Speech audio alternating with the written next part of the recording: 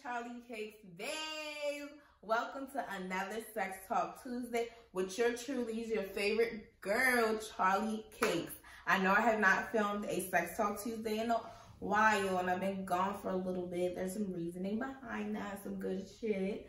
But um, yes, we will be doing another Sex Talk Tuesday today. You know, we always keep it short, cute, simple, and sweet. But our topic today is, can you have a successful hoe phase? Okay, so I will see you guys in the next slide and we're gonna get into it. And wait, oh, hold up.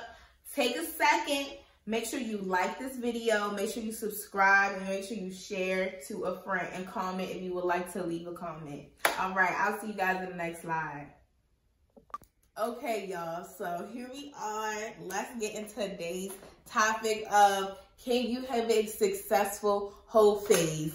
And just straight up my opinion, yes and no, you can have a successful hoe phase because there's just a lot of different paths you can pick and no, you don't have to pick that. Let me have a hoe phase route. That's your choice.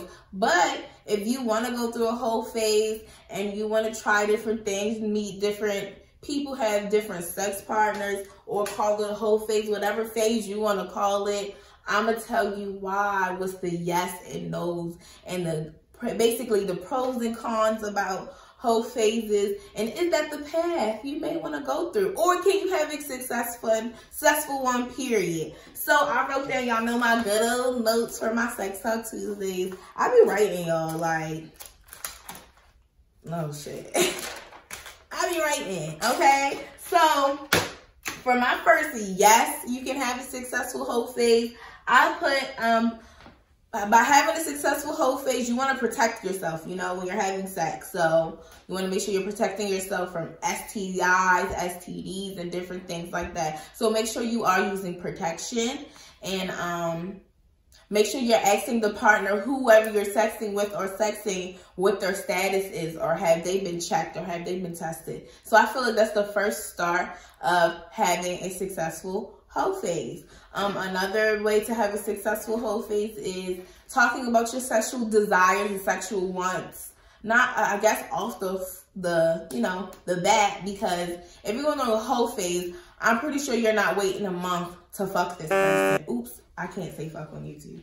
I gotta bleep that out. You're not waiting a whole month to have sexual, you know, intercourse with this person. So I would say right off the bat, ask them, what do you like? What do you not like? So you can not be wasting your time to see if you guys like the same stuff. Because if y'all are not liking the same things, what's the point of going through the, the hoe phase with this person if you guys do not have some of the the most like similar sexual desires you would say or if they're open to maybe trying some new things and you guys try that together that's something that you can do. And um, what did I also put? Yes, I did talk about having that open conversation, you know, about status. That is very fucking important. Please, please, please, do not feel ashamed. Do not feel weirded out like, oh my gosh, I have to ask them what is this, what's their status or if they tested. Yes, we're grown as fuck. Nigga, when did you get checked? Have you got checked? Okay.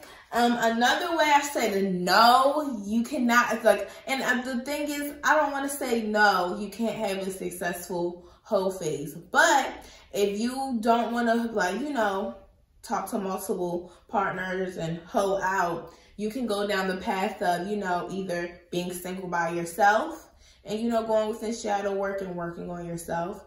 And, um, the same things you would do with a, a partner in a relationship or couple, you can do with yourself. So just like you go on dates with your significant other or sex partner, whatever, do that within yourself if you don't want to go through a hoe phase and attract that same partner you would want if that's the phase that you are ready for in life. If you're ready for that phase in life to find the person you want, basically how to attract the things you want. You have to do that to yourself first. You can't attract these things and you're not doing it nowhere in your life. There's no way in hell that's going to happen. So you're saying I want a nice guy and you're actually not really a nice girl. How are you going to attract a nice guy if number one, you're not a nice person to other people nor to yourself. So that is not a way that you're going to attract people. So attract what you want while you are waiting for this person if you do not want to go through your successful hoe phase.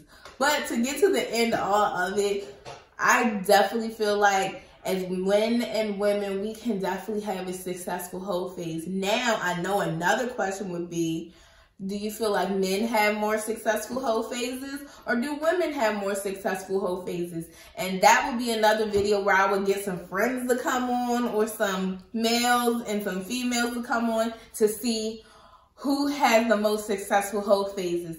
I feel in my opinion, opinion, from my guy friends. I feel like men, they probably have really good hoe phases because, you know, they say men do not get emotionally attached with a fucking boy. But they say men do not get emotionally attached.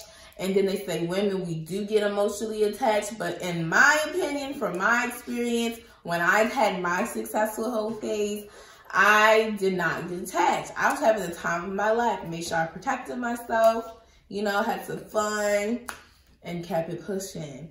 And so I feel like people can have a successful hoe phase. But like I said, if you do not want to go down that route and you are ready to find the love of your life, take that time to all the things that you want in that person, attract it back into yourself so that can attract to you and gonna manifest that man up. So if you guys want me to do a video how to basically manifest your lover or your partner or prepare yourself to have that person come in your life, let me know you guys want me to do a video on that. Cause you know, I did some things to attract my boo and it's just so crazy how you can put things down and you try to and you when you put your all into everything, everything comes to you because you're really attracting that shit and you're working hard towards it. So whatever you put that energy towards, honey, it's gonna come to you.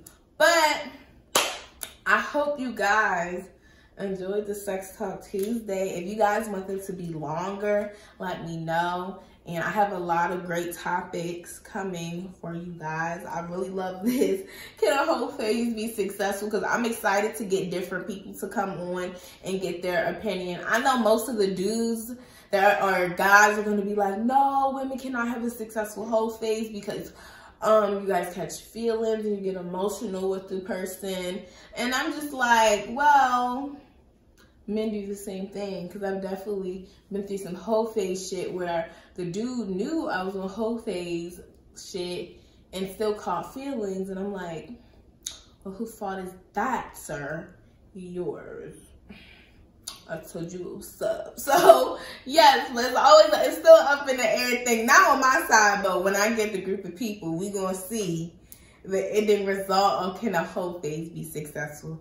So thank you guys for watching my Sex Talk Tuesday. It felt so, I know I keep um, get ready to start talking again. It felt so weird to film today because it's my first time filming in like a month or two. So I hope you guys enjoyed this video. I will see you guys next week for another Sex Talk Tuesday. Make sure you guys keep a lookout for my Cooking with Charlie cakes and some other videos. If you guys have any requests of videos that you would like me to do that's in my realm of things that I do, please let me know. And make sure you like, share, subscribe, and I'll see you guys. Bye, Charlie Cakes babes. Peace out, Girl Scout, and see you later.